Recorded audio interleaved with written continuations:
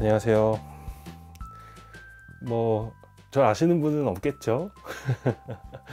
어, 잘 아시는 분은 없겠지만, 어, 제 소개를 간략하게 들으면, 어, 한국에서 태어나서 외국인 신분으로 계속 살아왔다가, 이번에, 이번 연도에 이제 대한민국 증서를 받은 다음 한국인이 된 어, 첸진하오 이제 이름은 전군호라고 합니다.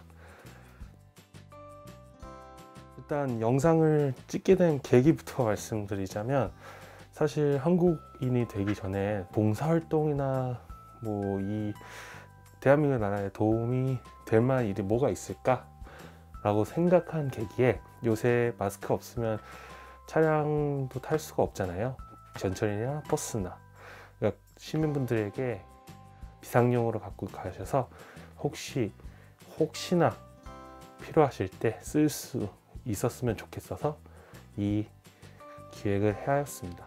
어, 제 계획 자체가 뭐 마스크를 한 번만 이렇게 배포하고 그리고 끝인 계획은 아니에요.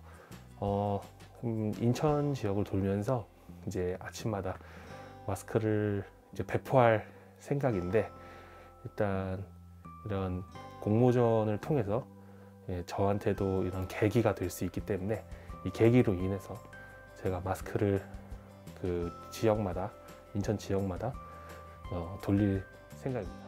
그 시민분들에게 좋은 에너지를 드린 것 같기도 하고 또 저도 좋은 에너지를 받은 것 같아서 정말 기쁘고 지역을 돌면서 더 많은 분들을 한테 좀 에너지를 받아 봐야 될 것 같습니다. 어, 정말 저도 좋은 경험이었고요. 이런 시기에 조금 더 힘내시고 서로 배려하고 또 마스크 잘 챙기셔서 어, 다 극복해 나갔으면 좋겠습니다. 감사합니다.